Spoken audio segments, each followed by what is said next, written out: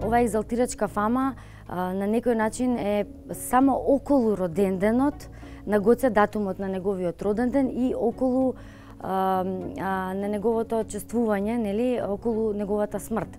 Тоа е само една недела и потоа го забораваат.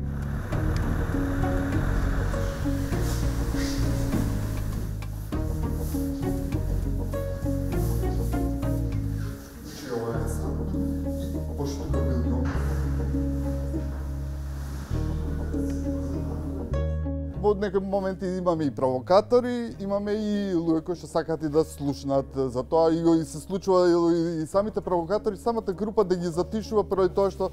едноставно провоцираат, а јас сум овде да им раскажам во тоа што го познам и така да и, и тоа се случува.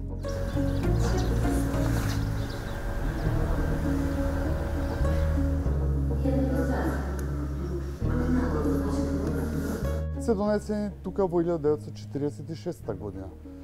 по еден договор кој што го направиле бугарската влада и македонската влада во тоа време и Линденската организација. И тоа било поради еден негов завет кој што бил испишан на еден сандак кој што имаме за кој што имаме снимки од 1923 година на кој што е запишано да бидат донесени моштите на Гоце Дел, да бидат донесени моштите на овој свет човек, како што пишува, во главниот град на Слободна Македонија.